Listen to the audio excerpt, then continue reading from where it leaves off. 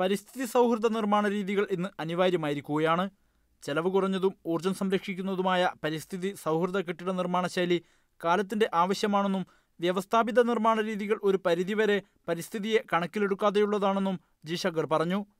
ഇത് ദോഷകരമായി മാറുന്ന സാഹചര്യത്തിൽ വരുംകാലത്ത് പ്രകൃതിക്ക് ഏറ്റവും അനുയോജ്യമായ കെട്ടിട നിർമ്മാണ ശൈലി രൂപപ്പെടുത്താനുള്ള ശ്രമം ഉണ്ടാവണമെന്നും പത്മശ്രീ ജി ശങ്കർ പറഞ്ഞു. നിർമ്മാണ സാമഗ്രികളുടെ ലഭ്യതയില്ലായ്മയും അനിയന്ത്രിതമായ വിലവർധനയും ഗുണമേന്മയില്ലായ്മയും കേരളത്തിലെ നിർമ്മാണ മേഖലയിലെ പ്രധാന പ്രശ്നമാണ്.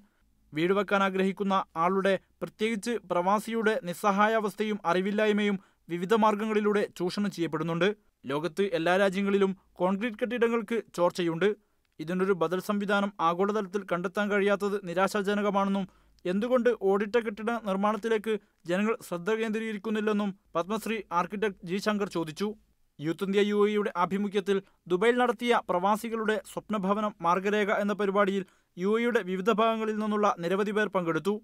യൂത്ത് ഇന്ത്യ ഗൈഡൻസ് വിഭാഗം കേന്ദ്ര കൺവീനർ സമീർ സൈദലവി അധ്യക്ഷത വഹിച്ചു. Media one Dubai